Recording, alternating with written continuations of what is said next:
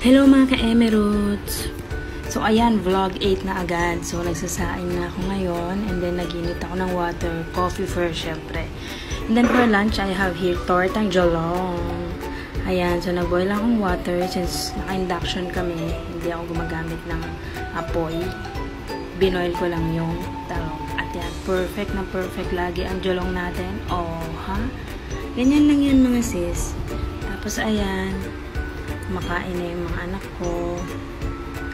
Aking panganay at aking pangalawa. And of course my bunsoy mukbang everyday ngayon pasalubong ni Daddy Sylvanus. Sobrang favorite namin favorite, favorite, favorite. Sarap sarap.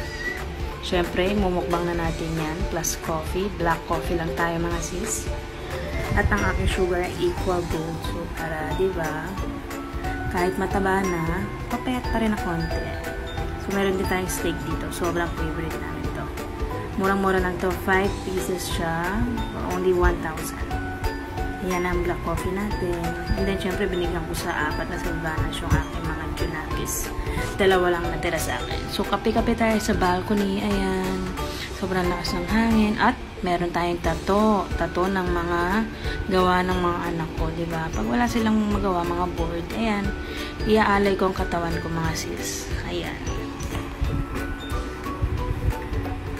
Tapos sa night, ayan.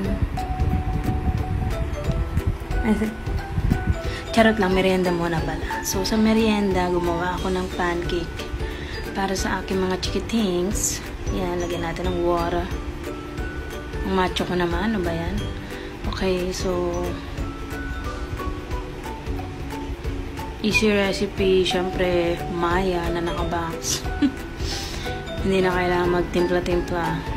So, ang ginawa ko, mini pancakes. Nilagay ko lang siya sa piping bag at press-press. At ayun, merienda natin. Ang sarap-sarap. Eggs pop. Dito siya mismo sa amin. Condo. Naka-branch. Ang galing-galing. So, si Mr. may pakulo. Ayan, unti-unti namin ina-upgrade ang aming bathroom. So, meron siyang pa-shower na parang ulan daw. Para ka na rin inulan. Ayan ang steak ko. Sobrang mabenta sa aking mag-aama.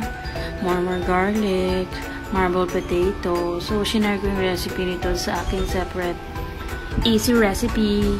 So, check nyo na lang. So, yan. Quick-quick lang lagi kasi favorite namin yung medium-medium, yung ganyan, no? Um, madugo. Pak, sarap. Ayan. Tapos, marble potato. Ginisa. Finry-fry ko lang yan dyan. At ang aking mabentang gravy. Kain na tayo mga ka-emeroots.